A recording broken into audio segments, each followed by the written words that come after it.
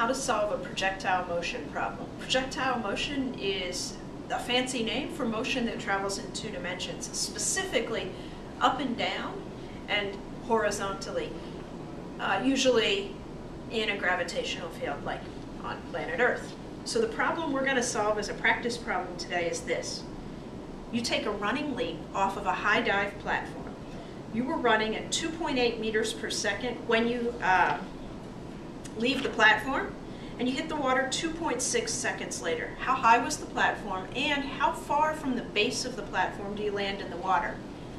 First step, I want you to always draw a picture of these problems.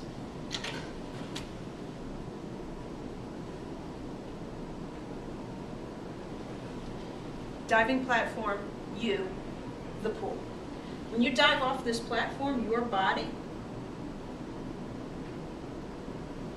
is going to follow a parabolic path, a parabola-shaped path down to the water. The range or horizontal distance you cover is here. The vertical change, how high is the platform, is here. We're provided with two bits of information. Number one, you leave the platform with a velocity of 2.8 meters per second.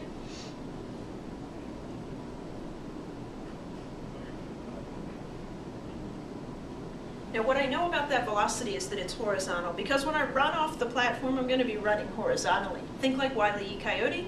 When he runs off the cliff, before he looks down, he's running out sideways, not up and down. I strike the water 2.6 seconds later.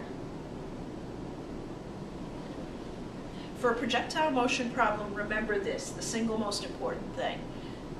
Vertical and horizontal displacements happen independent of each other. So the first thing to know is that in the vertical direction, you're accelerating downwards. In the horizontal direction, there's nothing to accelerate you, so you move at a constant velocity.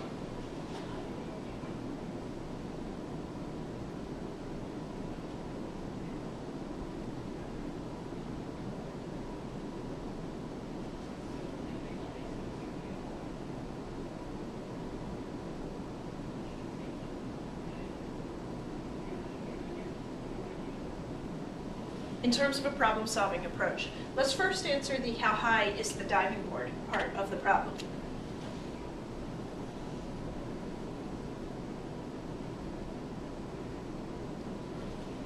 Okay, from the world of falling objects, I remember my kinematics equations here.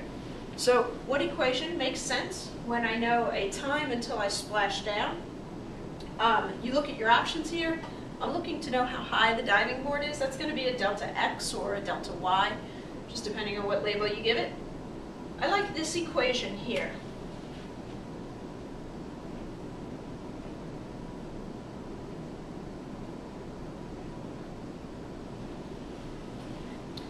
Okay, the initial velocity. I know it's tempting to want to grab this number because it was given as an initial velocity. Not true. The vertical velocity is zero.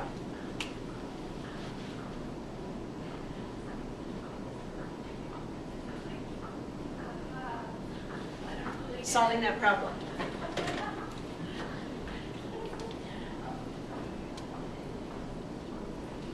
Uh, the math comes out to be 33.1 meters.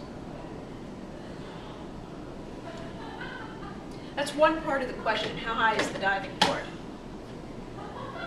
Second question has to do with horizontal motion. How far out do you travel from the diving board before you strike the water? In horizontal motion, the velocity is constant. This takes you back to your V-average relationship. Your velocity is your change in your position over the change in time. Stated differently, if I want to know delta x,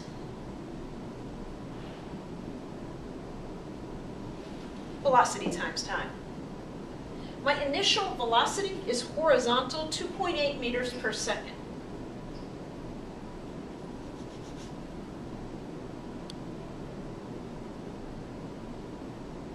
Time given as 2.6 seconds to accomplish both the vertical and horizontal motion. The result there gives you a position change of 7.3 meters. The question asks, how tall is the diving board? We answered that earlier. 33.1 meters. How far out from the base of the diving board until you strike the water? 7.3 meters. Looks like my drawing is not at all to scale, and that's a ridiculously high diving board.